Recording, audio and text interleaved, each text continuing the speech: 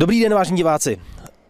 Znova se hlásím po utkání 23. kola Fortuna Národní ligy mezi týmy FK Vansdorf a FK Ústí nad Labem. Eh, toto utkání jsme zvládli ve prospěchu 1-0.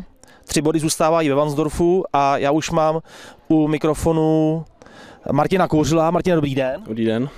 Martine, eh, zeptám se tedy, to utkání mělo spoustu šancí, mohlo to dopadnout dokonce i rozhodně jinak. Každopádně 1-0 a tři body doma. Tak my jsme rádi hlavně, že jsme to zvládli, odbojované utkání.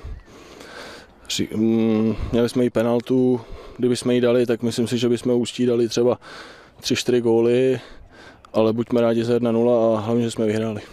Přesně o tom jsem hovořil. V každém případě trenér Frtěla se vyjádřil v tom smyslu, že byl překvapený, že Saša Jakubov nenastoupil v základu za Ústí nad Labem. Eh, byla nějaká speciální příprava na tohle hráče? Tak já ho moc neznám, ale my jsme se soustředili sami na sebe a nějak zvlášť jsme ho neřešili. Dobře, Martine, teď probíhá duben, eh, takový masakr váš, protože máte hodně domácích zápasů, samozřejmě i venku, jsou to nějaké dohrávky, eh, spousty práce. V každém případě, jak, jak odpočíváte, jak si nejlíp vy osobně odpočinete? Tak někdy to je aktivní odpočinek, ale většinou třeba s rodinou a tak. Jo, takže doma... Dobře, dobře. Takže to je úplně všechno, mějte se moc hezky, příště zase na viděnou.